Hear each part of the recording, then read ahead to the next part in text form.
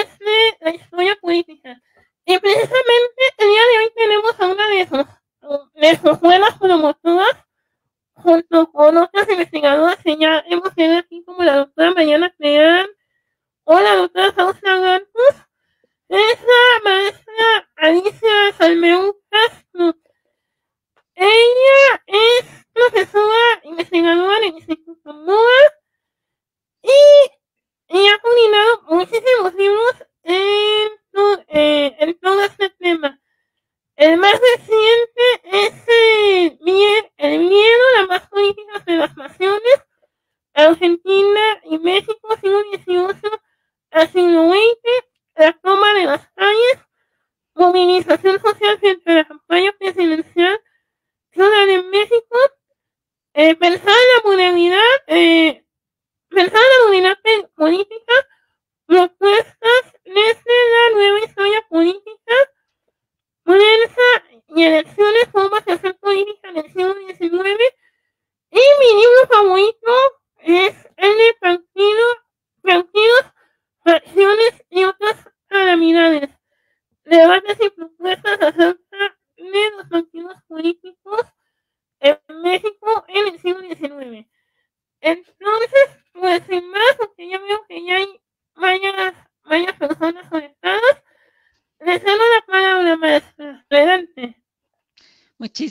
Gracias, Francisco. Primero por haberme invitado a tus exitosas jornadas virtuales de historia y luego por tu generosa presentación. Me has invitado a una charla con las y los estudiantes de la Universidad Autónoma de Zacatecas. Es un gusto dirigirme a ustedes. Buenas tardes. Voy a comentar con ustedes algo de lo que se conoce hoy y desde hace varias décadas como nueva historia política y que constituye actualmente una línea fuerte de la historiografía occidental y ciertamente de la historiografía en México. Mi charla va a estar guiada por preguntas como estas. Nueva historia política frente a qué otra historia política? ¿Qué diferencias se propusieron entre la vieja historia política, una más tradicional, y la nueva? ¿Quiénes, dónde y cuándo comenzaron a proponer estos cambios en la manera de pensar y estudiar la historia política? ¿Qué se entiende por cultura política, objeto de estudio central de la nueva historia política? Y una última una pregunta que dice, ¿en México se escribe nueva historia política?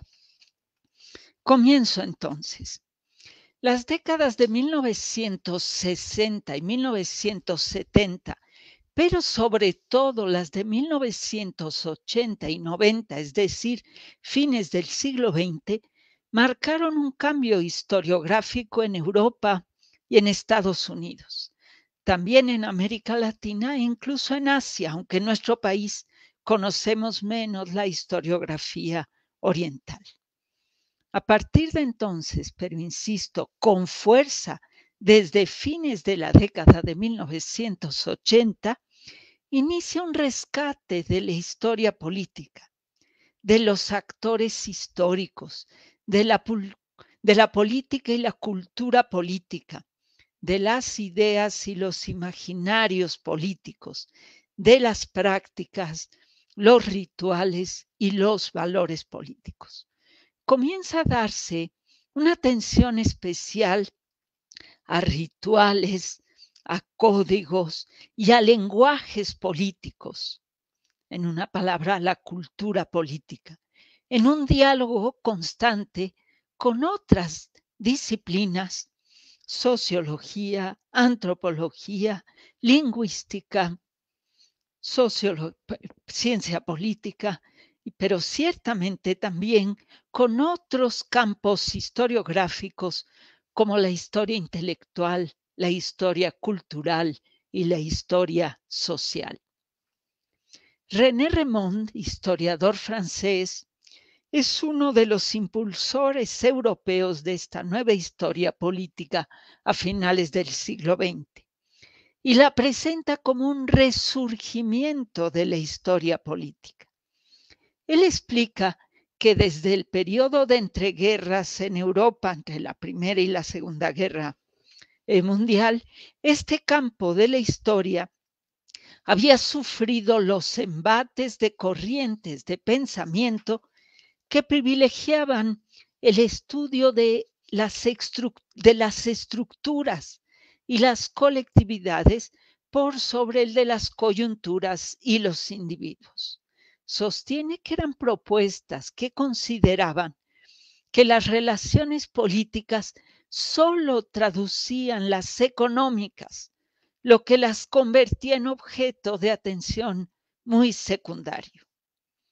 Mucho de esta actitud frente a la historia política provenía, de acuerdo con Remón, del contexto intelectual y político de la época en Europa, de la democracia, de un movimiento obrero ascendente, de partidos socialistas fuertes que parecían confirmar el postulado de Marx, de acuerdo con el cual el motor de la historia era la lucha de clases.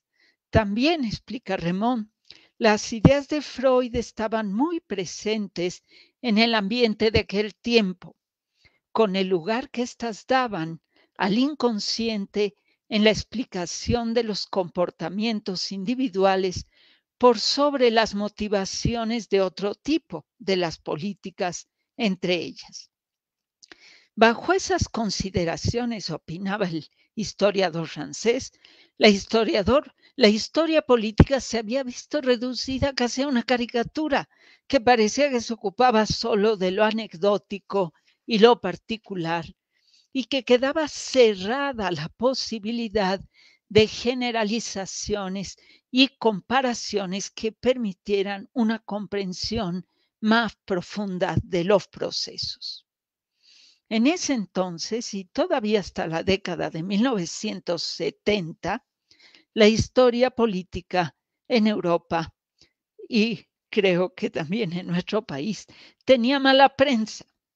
Sin embargo, desde la década de los 60 y sobre todo 80 y 90, iniciaron movimientos historiográficos en Europa, América, que estuvieron marcados por un repensar el objeto de estudio de la historia, por una revaloración de la acción humana. Eh, se reconoció, comenzó se volvió a reconocer la insustituible intervención de la acción humana en la causación histórica, el peso de la cultura comunitaria y también se comenzó a pulsar el lugar de la voluntad en la historia. Vinieron entonces renovaciones de los temas de la historia política en diálogo con otras disciplinas se dio un enriquecimiento de enfoques y de preguntas de investigación y una apertura a experiencias más allá de los confines nacionales, una historia más abierta al mundo. Desde luego que esta historia política renovada no nació de las cenizas del anterior, cual ave fénix. Y aquí recupero algo que ha dicho Brian Conaton hace poco en otra de las sesiones de estas jornadas. Él afirmó que todas las nuevas historias tienen en realidad mucho de viejas historias. No solo no rechazan todo lo hecho antes, no se desprenden de los aportes historiográficos que les preceden, sino que lo que aparece como nuevo de alguna manera fue adelantado ya por algunos de sus predecesores. Este es el caso, sin duda, no solo de la historia de la Iglesia a la que se refería, sino de la historia, de la nueva historia política en general.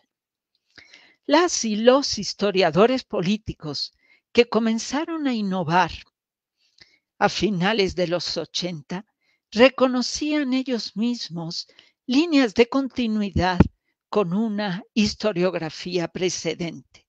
Desde luego, los franceses con la Escuela de los Anales, con autores como Bloch y Febre. Los británicos con la historia de las ideas políticas británicas. La historia de la cultura alemana de principios del 20 también estaba presente. Norbert Elías con el proceso de la civilización, sí escrito desde la sociología, los tres que voy a referir, pero haciendo una historia precisamente. Elías de estos procesos, Weber de la ética protestante, Sombar de lujo y capitalismo. En los Países Bajos estaba Johann Huizinga con el otoño de la Edad Media. Y Erika Pani, en un ensayo sobre el tema, sostiene que en México tampoco la nueva historia política resultaba del todo nueva.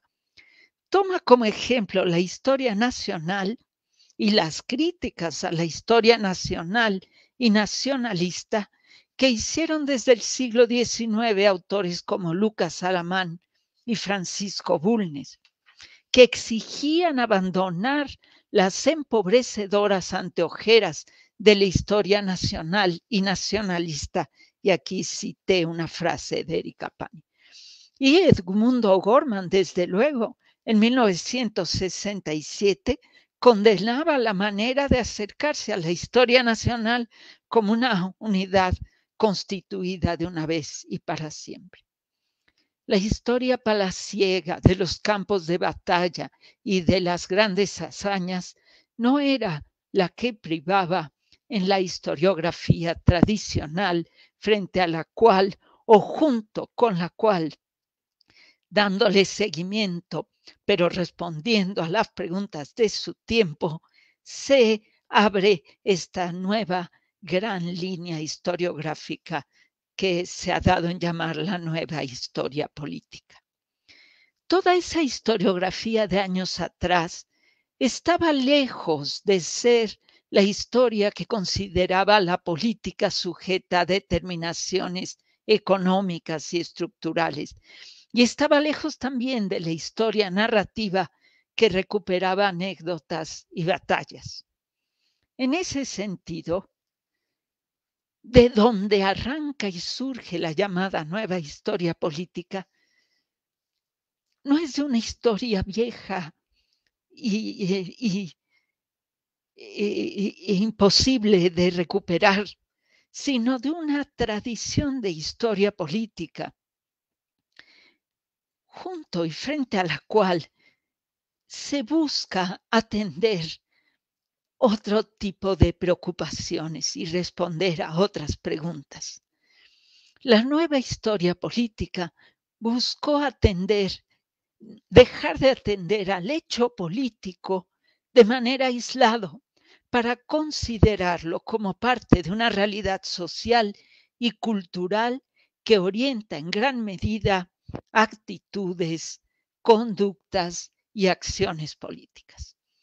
Este movimiento que se autorreconoció como nueva historia política a finales del siglo XX sin negar sus deudas con la historiografía política que le precedió, sostiene una concepción amplia de la política, que en realidad es lo que autores como Remond y Piero Zambalón ha llamado historia de lo político y su consideración como un fenómeno inseparable de lo social.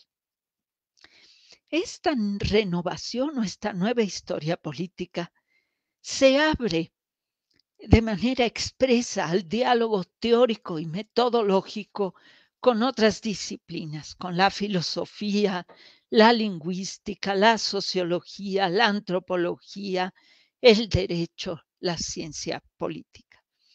Y busca visualizar una gran pluralidad de actores políticos. Busca entender su compleja estructura de relaciones y sus diferentes niveles de interacción. Pone un interés especial en el estudio de la cultura política, es decir, de todo un conjunto de códigos de comportamiento individual y colectivo que orienta la acción de los miembros de una comunidad de cara a las relaciones de poder y de autoridad en torno a las cuales se estructura la vida política. Y también manifiesta una marcada preferencia por la conceptualización por sobre la historia narrativa. Detengámonos un momentito en esta cuestión de la diferencia entre la política y lo político que hizo René Remond y Pierro Zambalón retomó después en un conocidísimo y magnífico texto que fue su discurso de ingreso al Colegio de Francia He publicado con muchas ediciones entre otras uno en una antología de la que ahora les voy a hablar y en la que tuve el gusto de, trabajar, que es, eh, que es eh, la historia conceptual de lo político.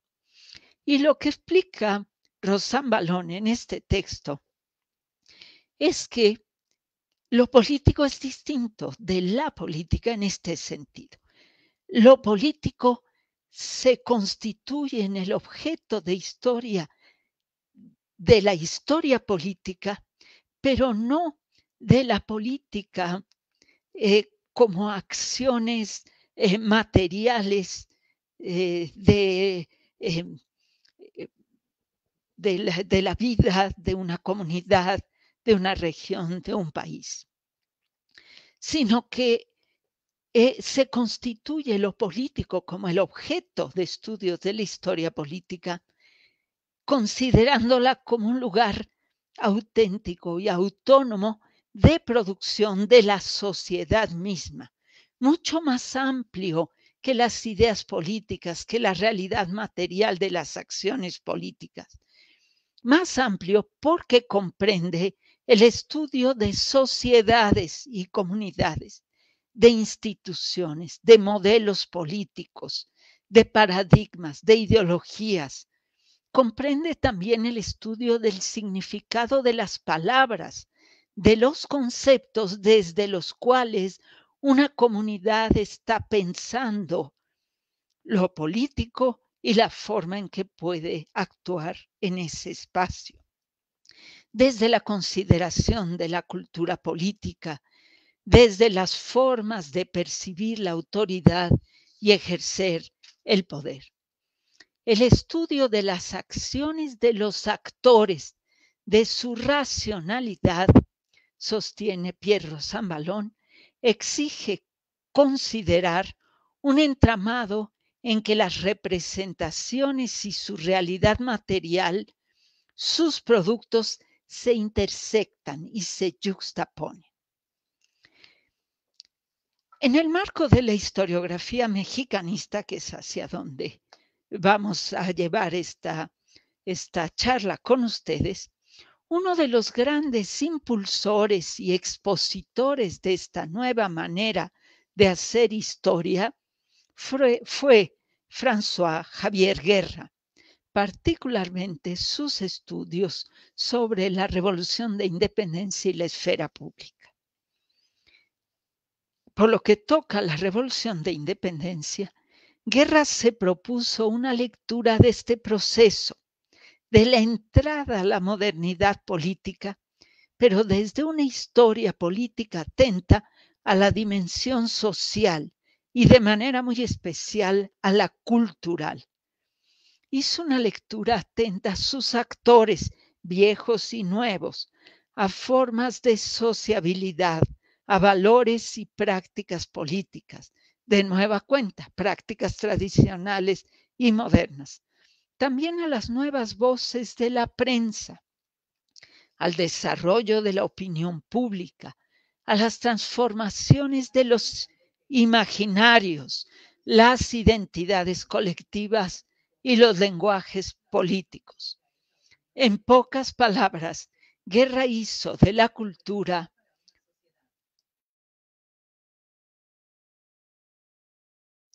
Perdón por la interrupción. En pocas palabras, retomo, Guerra hizo de la cultura un espacio privilegiado de la indagación. Se negó a hacer una historia nacional de la revolución de independencia adoptó una perspectiva atlántica, lo que junto con su interés por el estudio de los imaginarios y la cultura política, le permitieron dar la vuelta a interpretaciones tradicionales de la independencia de México y de toda Hispanoamérica. Y por ese camino, Guerra logró superar las lecturas hechas desde una historia patria que veían a la monarquía española como sinónimo de opresión y oscurantismo, y que buscaban explicar la ruptura con España a la luz de influencias francesas y norteamericanas, así como de, contradicciones insuperables entre la metrópoli y la, la colonia. La revisión que hizo Guerra de estas interpretaciones quedó plasmada en su notable libro Modernidad e Independencias Ensayos sobre las revoluciones hispánicas, publicado en México en 1992.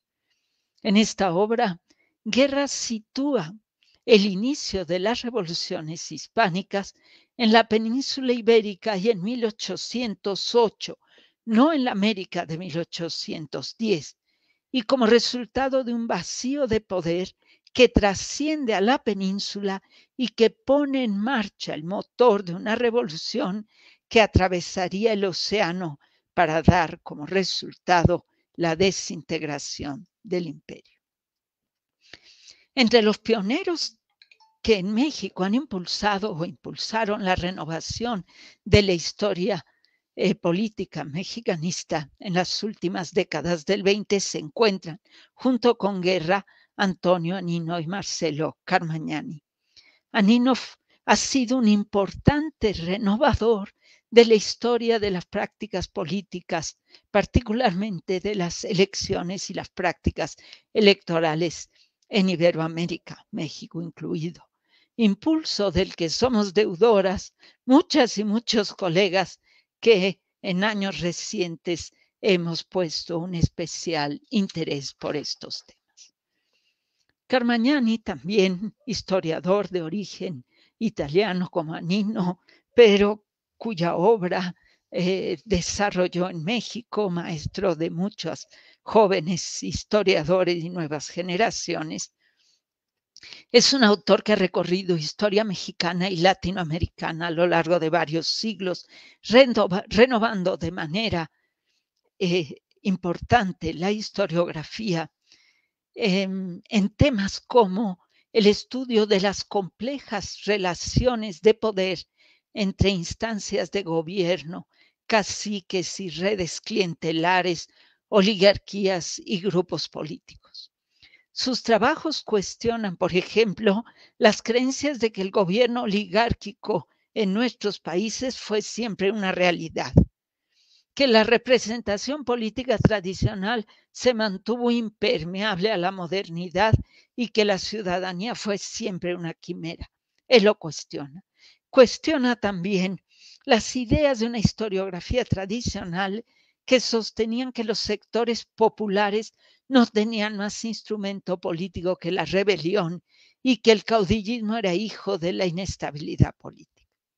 Como contraparte, Carmagnani ha propuesto que una interpretación que reconoce una ciudadanía que impone límites al poder y un poder que para poder centralizar y gobernar efectivamente libera la economía, se diferencia de grupos de presión e, e incorpora personal político no oligárquico. Marcelo Carmagnani junto con Alicia Hernández han hecho, por ejemplo, una recuperación muy importante del proceso de construcción de la ciudadanía en México, un trabajo que junto con el de Hilda Sala, Sábato, que es una historiadora argentina, lo que, un trabajo que ella ha hecho para América Latina que ha permitido leer el siglo XIX en el subcontinente de otra manera. En particular, Sábato muestra cómo el proceso de definición y de redefinición de la ciudadanía jurídica a lo largo del siglo tocó sin duda al debate ideológico y a la acción política, pero que tuvo también y de manera muy principal una dimensión social. De alguna manera, esta propuesta da cuenta de lo que el concepto de ciudadanía el de una ciudadanía real, llegó a significar en su época. La nueva historia política ha renovado la manera de entender y valorar no solo la construcción de la ciudadanía, sino del liberalismo mismo entendido y en su, en su contexto propiamente hispánico de la representación, el constitucionalismo, el, el, republicanismo y las instituciones políticas. Todo a la luz de la consideración de la cultura política.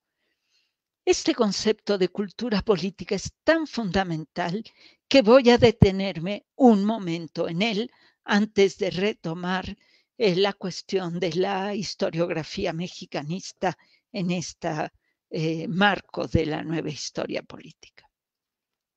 ¿Qué entendemos por cultura política? Más allá de las acciones mismas de los actores, la cultura política se interesa por aquello que los impulsa a conducirse de una u otra manera. Hay que estudiarla en busca de un conocimiento más profundo de la realidad política hay que identificar esa poderosa relación entre cultura y poder en el marco de la cual los y las actores se mueven en el ámbito de lo político. Para esto se parte de la consideración de que la actividad de quienes intervienen en la política depende mucho de la cultura en un sentido amplio, no del teatro, la pintura y la música, sino en un sentido a la manera en que la entienden los antropólogos.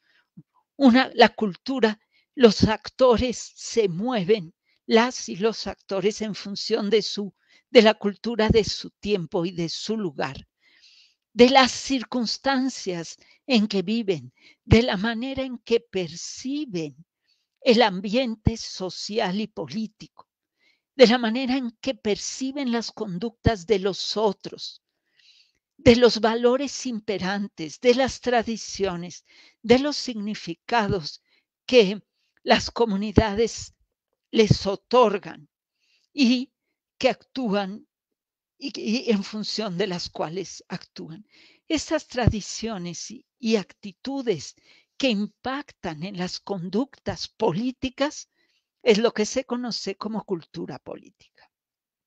Como explican algunos estudiosos del tema, la historia política ha considerado desde tiempo atrás algunas condicionantes de los actores políticos externos a la política misma, la clase social, el estatus social, la edad, el sexo, la educación, la actividad económica y la situación socioeconómica de la comunidad o país al que el actor pertenece.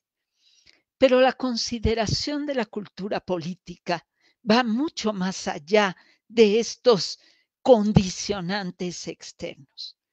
La consideración de la cultura política se compromete con indagar en torno al peso de las conductas, el peso que tienen en las conductas políticas otros factores condicionantes igualmente importantes que los anteriores, aunque más difíciles de observar, medir y valorar. Condicionantes como creencias, todas referidas a una comunidad, no al individuo, al individuo en tanto las comparte o las critica como parte de esa comunidad. Creencias, actitudes, prejuicios, predisposiciones, hábitos, valores, normas, sentimientos, expectativas, tradiciones, símbolos, mitos, concepciones acerca de la autoridad y los fines de la política que pueden variar de una comunidad a otra y de un tiempo a otro. En suma, todo aquello que forma parte de la cultura en su sentido amplio antropológico es lo que constituye la cultura política a partir de la cual él, las y los actores políticos actúan. Aquí tengo una definición de un antropólogo británico, ya viejita, pero muy útil, de, de Edward Taylor sobre cultura. Cultura es ese todo complejo que incluye el conocimiento, las creencias, el arte, la moral, el derecho, la costumbre y cualesquiera otros hábitos y capacidades que tiene el hombre como miembro de una sociedad. Considerar todo esto es lo que ha dado, lo que ha hecho de la política, lo que lo ha convertido en lo político, dándole esta dimensión social y cultural.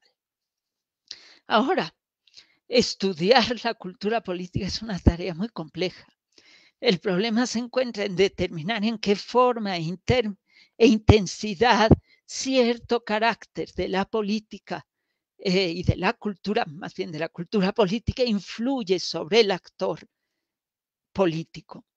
Y esto no es fácil de identificar, lo que nos remite finalmente a la manera en que se ha hecho y se ha hecho de manera muy importante a partir de estudios de caso. Y aquí voy a referir, antes de volver a los temas de eh, mexicanistas, la, una, una obra eh, pionera eh, para el estudio de caso de las prácticas políticos electorales que se pueden entender a partir de una cultura política del momento. Y es un, un estudio pionero de un historiador británico sobre realidad inglesa. Él se llama Franco Gorman, eh, que renovó la historia de las elecciones eh, británicas con un impacto muy significativo en su país y fuera de él. O'Gorman llevó a cabo un importante cuestionamiento a la, a la valoración que se había hecho hasta entonces desde la historiografía británica sobre los procesos electorales de los siglos XVIII y XIX.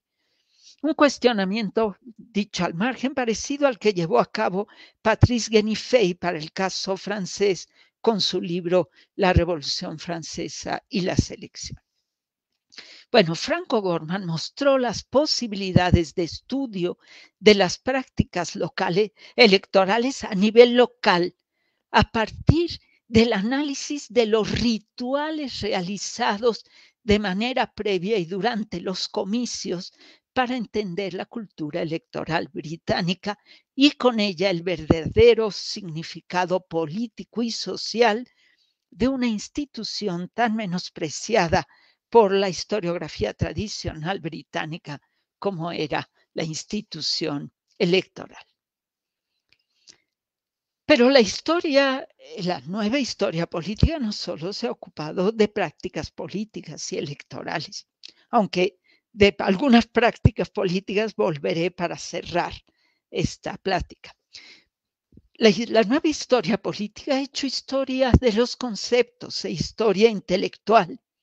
Esas son nueva historia política, ambas en el sentido en que consideran lo social y la cultura política como fundamental para entender el significado de una palabra, de un concepto y de un conjunto de ideas y la manera en que se, desde ellas, desde los conceptos y desde un conjunto de ideas, se piensa cómo actuar en política.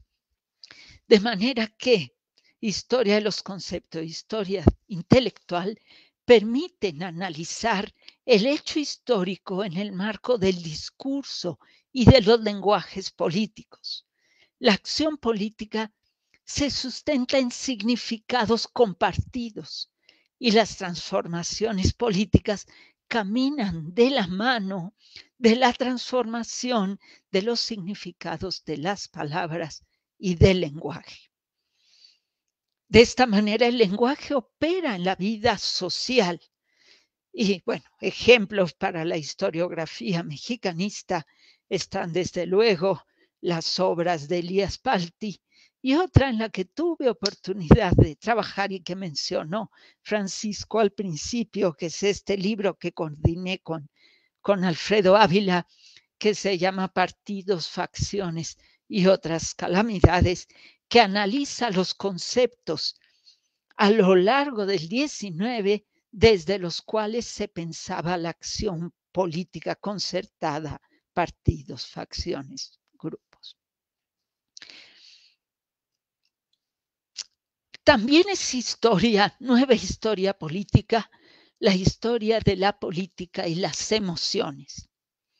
Porque como dice Estela Rosselló en un pequeño articulito que que publicó en nuestro blog Atarraya.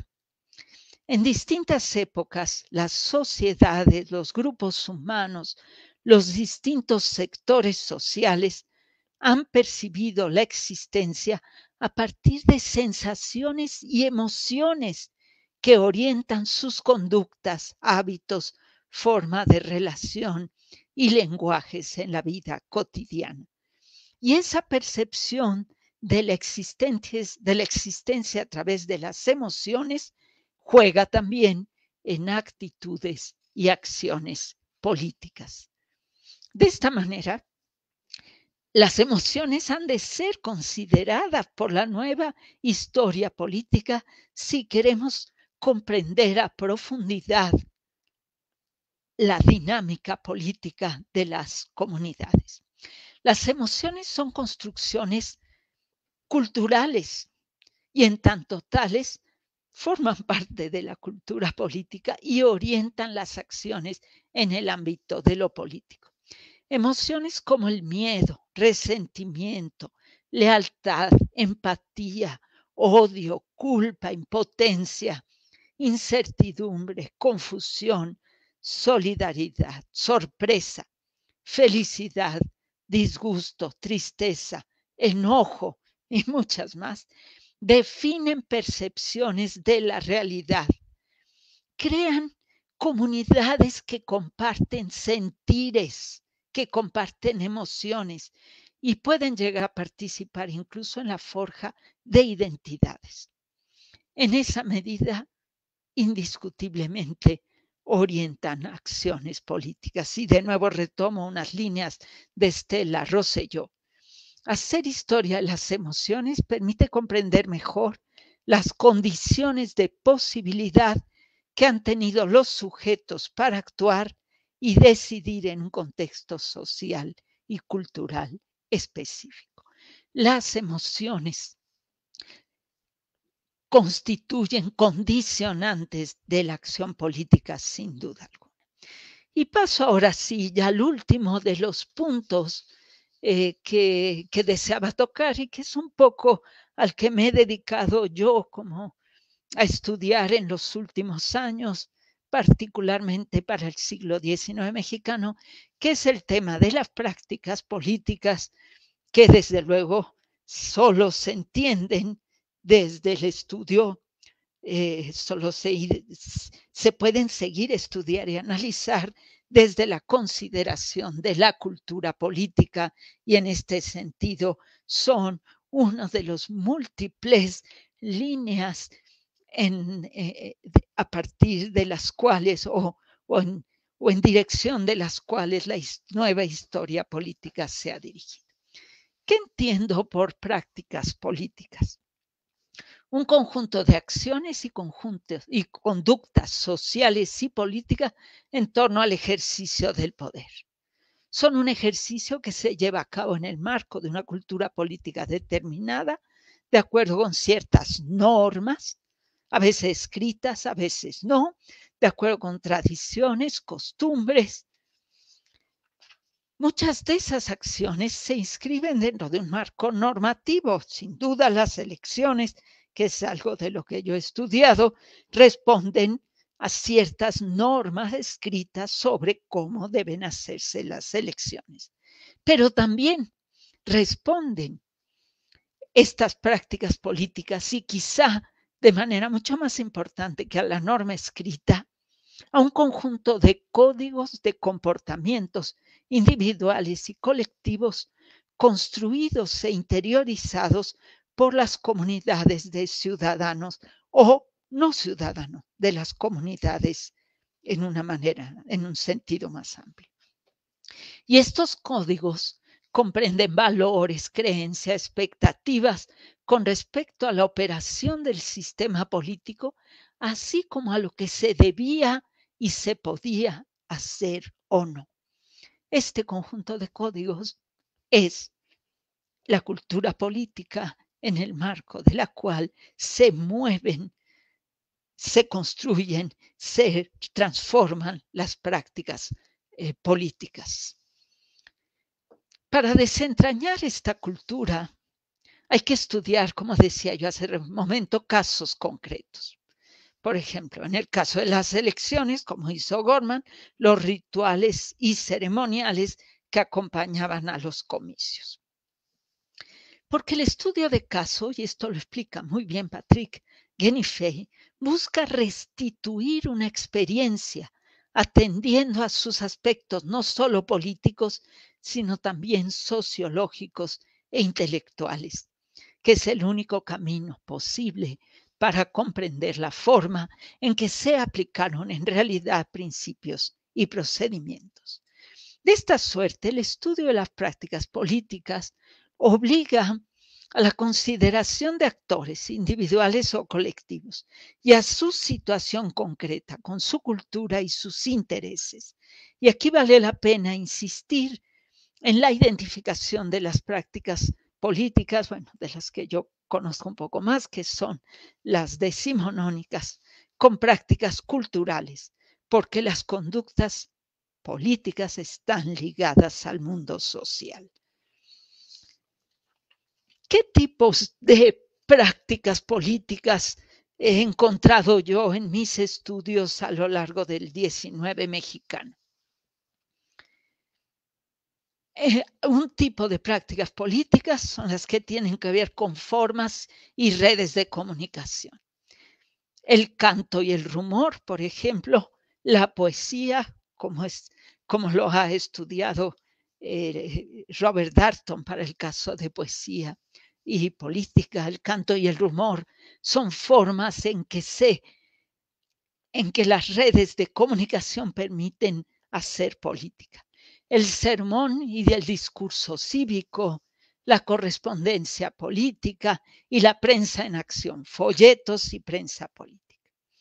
También está otro segundo campo, el de la intermediación y articulación política, es decir, las redes caciquiles y caudillos, las redes y los operadores políticos, las logias y las sociedades secretas, las milicias cívicas y la Guardia Nacional, los clubes políticos y las redes de clubes, facciones y partidos, colectividades religiosas.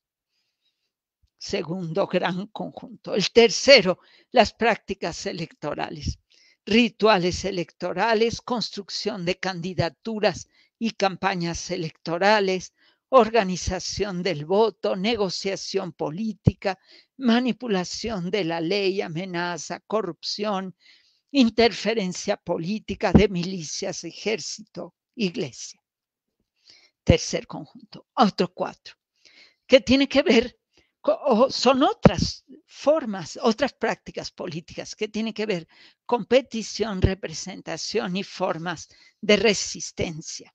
Otras que tienen que ver con manifestaciones violentas, pero, pero como, no como una explosión, sino como una práctica política eh, con, eh, asimilada por las comunidades como el pronunciamiento, el tumulto, el motín, o las prácticas que funcionan en ámbitos institucionales como el Parlamento, los votos por diputación, las ligas y coaliciones legislativas, los grupos parlamentarios, las comisiones extraparlamentarias.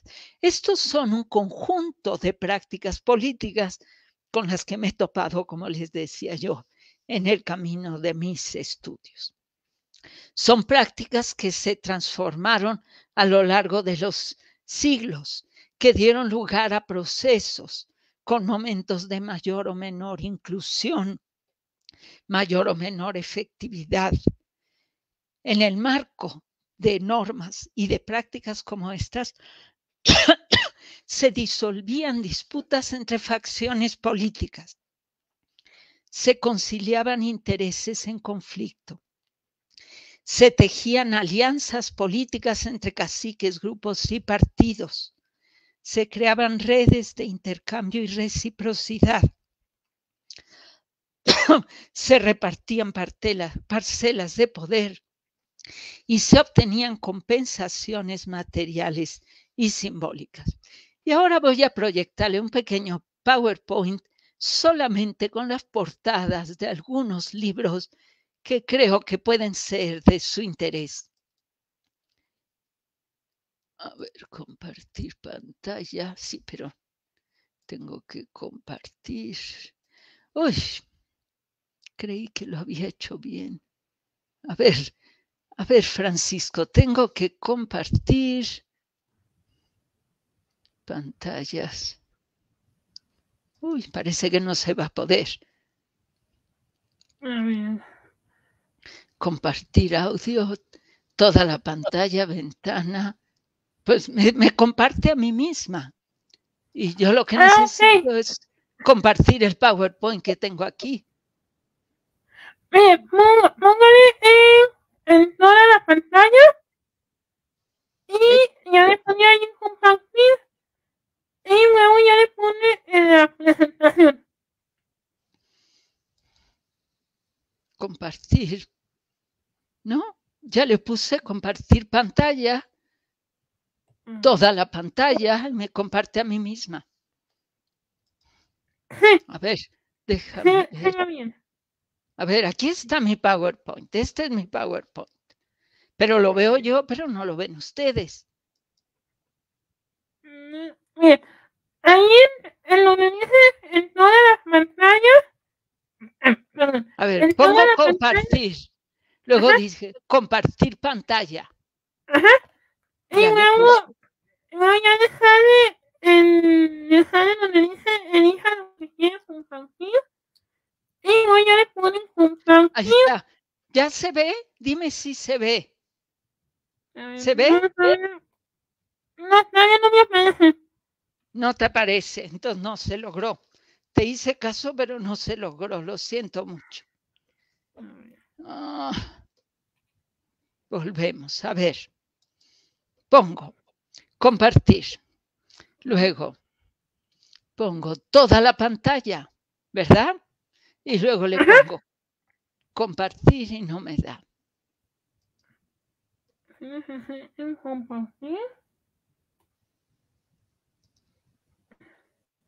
No, no me permite. Necesita, yo creo, una autorización porque no me permite compartir, Francisco. Ni modo. se las platico. Lo que yo tenía en esta PowerPoint que no puedo compartir con ustedes son las portadas de algunos libros que pueden ser de interés para eh, ustedes, estudiantes eh, de historia.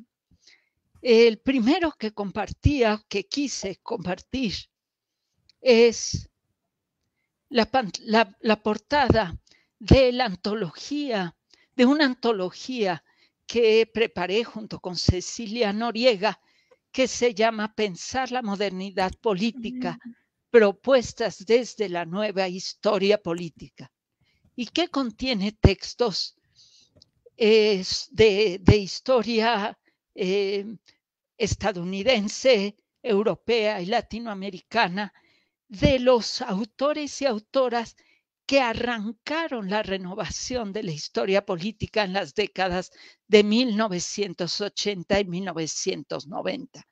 Tiene textos de René Remón, de Rosan Balón, de Brin, de Baker, de Guerra, de Franco Gorman, Carmagnani, Coca, Sterngel, Skinner, Bolt, Tomás y Valiente y Sábado. Esta era la primera, sí que es una pena eh, Francisco, que no lo logremos, es una pena.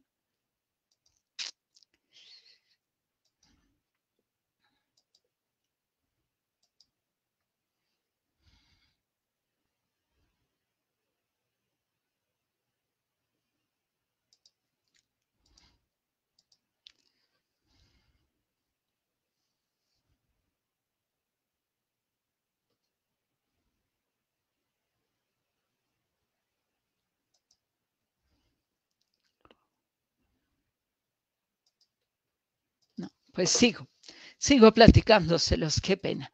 Después presentaba yo los libros que realmente eh, han constituido un parteaguas para la historiografía mexicanista de guerra, modernidad e independencia, otro que compiló guerra con Ali Clamperier, que se llama Los espacios públicos en Iberoamérica, o el libro Inventando la Nación Iberoamérica siglo XIX, compilado, coordinado por Guerra y Antonio Anino.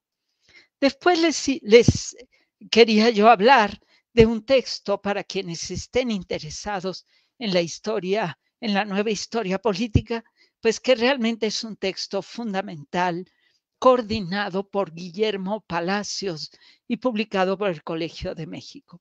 Se llama Ensayos sobre la nueva historia política de América Latina, siglo XIX, con textos del propio Palacios, Erika Pani, Carmagnani, Alfredo Ávila, Virginia Guede, Alicia Hernández, Brian Conaton, Ira de Gortari y otras y otros autores. Y luego venían, pero ya no, no tiene mucho caso, les iba yo a presentar la portada del libro de, de Robert Darton de Poesía y Policía, que en realidad habla de una forma de hacer política en el París del siglo XVIII a través de una poesía escrita, memorizada, eh, cantada y que se iba recomponiendo a lo largo conforme se iba transmitiendo de manera oral. Y les iba a presentar la portada del último libro en el que he tenido el gusto de participar, que se llama El miedo, la más política de las pasiones, que eh, hace estudios de caso para Argentina y México de los siglos XVIII al XX en el que colaboran Matilde Souto, Mariana Terán, Gabriela Rodríguez, María José Navajas, Inés Roquín, Fausta Gantús y Florencia Gutiérrez. Luego les iba a presentar algunas portadas de nuestros libros de historia electoral. Ya no fue posible, pero no importa, porque lo que importa, creo, fue lo que pude exponer antes, que espero que haya sido claro y solo agregar que si bien yo conozco de la historia política y de la nueva historia política del 19, en México se está haciendo magnífica nueva historia política del siglo XX. Hay ya estudios sobre las izquierdas, sobre las derechas, sobre los movimientos políticos, sobre el 68 de manera muy especial, sobre las elecciones y la prensa política del siglo XX. No me queda más que invitar a ustedes, alumnas y alumnos eh, de historia de la Universidad Autónoma de Zacatecas, a interesarse por este campo y por esta línea, estos, estas líneas que ha abierto la nueva historia política, porque realmente acercarse a la cultura política eh, es, es como acercarse a una mina de oro eh, realmente eh, llena, de, llena de posibilidades. A quien le interese la historia política, le invito a caminar por estas rutas. Muchas gracias. Buenas tardes. Muy bien, muchísimas gracias, eh, ha sido un placer aquí. Después de varias invitaciones, por fin pudimos tener. Eh, vamos ahorita a las preguntas. Ya tenemos algunas preguntas de, de aquí de, del público. Y bueno, le van a pasar en, su pantalla maestra. Yo también tengo mis dudas, pero al final ya se las sabe. Eh, eh, Francisco, solo una pregunta. Este, si yo te mando, si me mandas un correo electrónico o un WhatsApp y te mando el PowerPoint, no para que lo proyectes ahorita, pero para que lo pueda, se lo puedas compartir a tus compañeros estudiantes, lo hago con mucho gusto. ¿eh? Mándame un correo o un WhatsApp y yo te lo mando adjunto. Ah, a ver, este es Edwin Alcántara, que es un colega muy querido con quien además colaboro en muchos libros y en los que tenemos en proyecto todavía. Y bueno, él pregunta eh, sobre qué tanto se ha avanzado en México en nuevas formas de hacer historia política en el tema electoral. Edwin, yo creo que se ha avanzado muchísimo con tu participación. Por lo demás, Hemos publicado en nuestro equipo de trabajo libros coordinados por Fausta Gantuz y a veces por ella y por mí. Hemos publicado ocho libros ya con estudios de caso eh, muy profundos que recorren el siglo XIX entero y que dan cuenta de la riqueza no solo de las prácticas electorales, sino de lo de lo que las elecciones mismas, gracias a esas prácticas, significaron para la vida política del país, para abrir espacios de negociación política, para poder eh, lograr eh, disminuir la conflictividad del enfrentamiento entre los grupos, para poder articular regiones y conjuntos sociales entre sí. Yo creo que si consideramos de los primeros estudios de Natalie Lee Benson sobre la historia electoral y luego el gran impulso que le dio a Nino y claro, trabajos de Virginia Guedea, de Alfredo Ávila, de muchos otros y luego este conjunto tan grande de, de colección de libros sobre historia de las prácticas electorales que ha publicado el Instituto Mora, yo creo que hemos avanzado mucho, aunque falta ciertamente por hacer.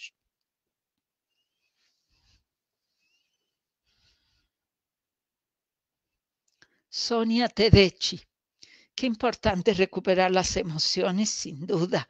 Muy difíciles de decir, pero indudablemente van asociadas a lo cultural y a los significados y sentimientos compartidos. En Argentina, María Berg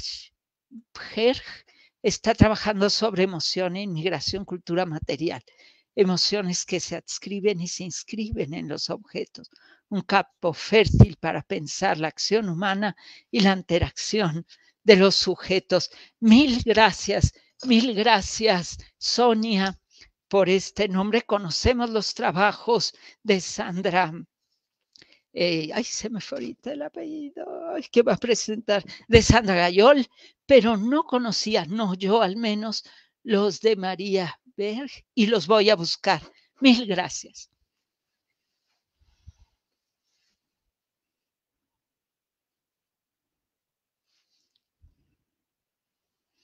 Marta Barca, ¿alguna recomendación sobre el uso de los conceptos actuales sobre prácticas del pasado? Desde luego, no los use nunca, nunca, nunca. Los conceptos tienen historia, como todo, como toda la cultura. Si tú pescas un concepto de hoy y lo tratas y tratas de entender con ese concepto una realidad del pasado, no entiendes nada. Y te lo digo por experiencia propia, porque así llegué yo a la historia de los conceptos. Pesqué yo el concepto de partido de Sartori del mundo XX, del siglo XX, para tratar de entender los partidos del XIX. Y no entendí nada. Hasta que me leí los trabajos de, de la escuela de Cambridge y de Koselleck, en fin, para ver, para hasta entender que si quiero entender qué eran los partidos en el 19, primero tengo que estudiar directo de las fuentes qué entendían ellos por la palabra partido cada vez que la utilizaban. Y entonces definir el concepto de partido para una época y lugar del 19 y desde ahí tratar de entender la lógica de la acción de quienes pertenecían a eso que ellos denominaban partido.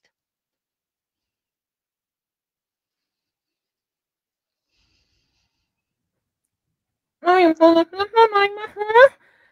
Eh, yo sí quiero hacer una pregunta, doctora. A ver, Eh, mm, yo, bueno, ese, yo tengo ganas ahorita con mi tesis. Bueno, para empezar, tengo ganas de hacer tesis. Pero una metodología que quiero, eh, quiero combinar es política con la historia social. No, no sé hasta qué punto puede ser, digamos, compatible ambas no solo es compatible, no solo es compatible. Si quieres hacer nueva historia política, solo puedes hacerlo de la mano de, de, la, de la historia social. Y te pongo un ejemplo, el libro de la toma de las calles, eh, que tú me enseñaste la portada hace un momento, la toma de las calles, deja ver, eh, que salió el año pasado, escrito por Fausta Gantús, Florencia Gutiérrez y yo, es un ejemplo de historia política e historia social juntas. Entonces, es para 1892, es el seguimiento a un movimiento obrero y estudiantil contra la reelección de Porfirio Díaz, que se dio en las calles de la Ciudad de México, que movilizó miles de personas, de obreros, campesinos y estudiantes, que al final fue reprimida, como podrás imaginar, pero que justo el estudio de la movilización política la hicimos también desde la perspectiva de la historia social. Que yo lo que te recomiendo, Francisco, es que busques ejemplos. Luego tú pescas tu tema, tu época, tu- tus preguntas, pero en términos metodológicos, buscar ejemplos es siempre un buen tip, una buena clave.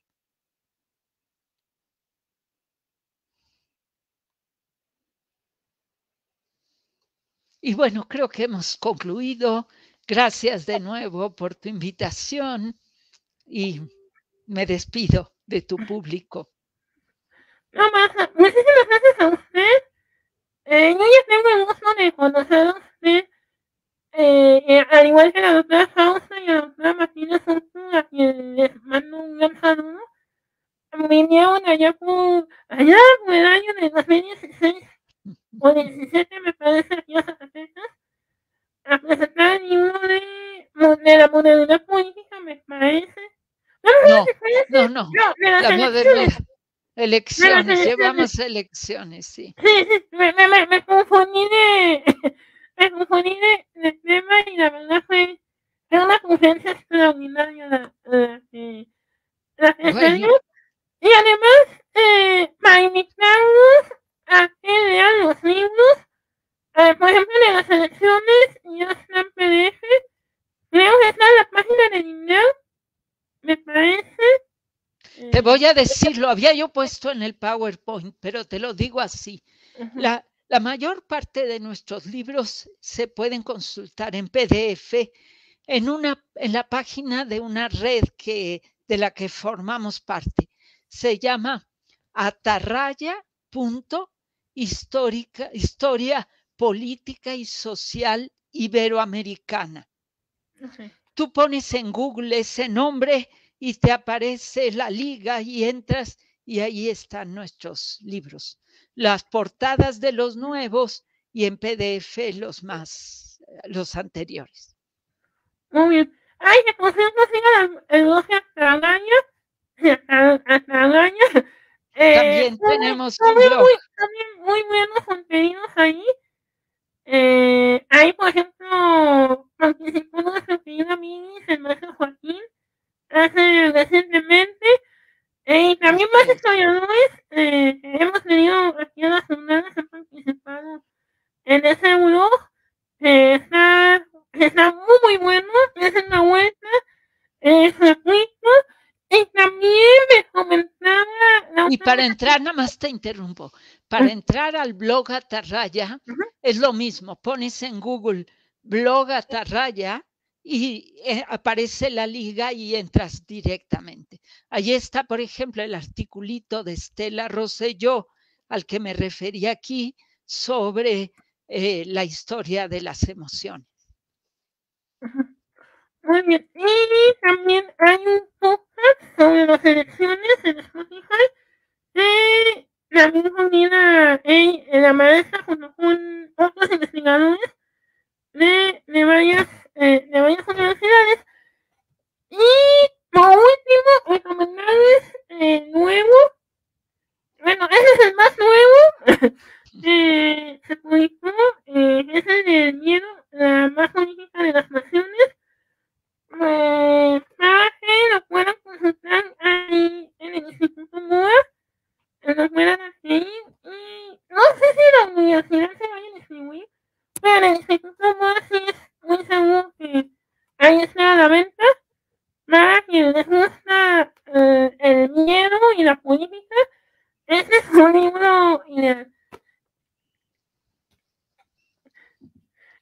Y bueno, solamente para invitarnos, el día de mañana cerraremos las jornadas con el doctor Antonio Ibarra, que nos hablará de una historia a la que yo le tengo mucho trauma, de la nueva historia económica va a ser a las 6 y el jueves nos esperamos a nuestra plática de clausura eh, para estar pendientes de, de, todos los eventos y también de lo que, de, también de lo que publica la, base de Salmeón y los, y los demás estudiadores. Muchísimas gracias nuevamente. Muchísimas gracias y nos vemos hasta la próxima.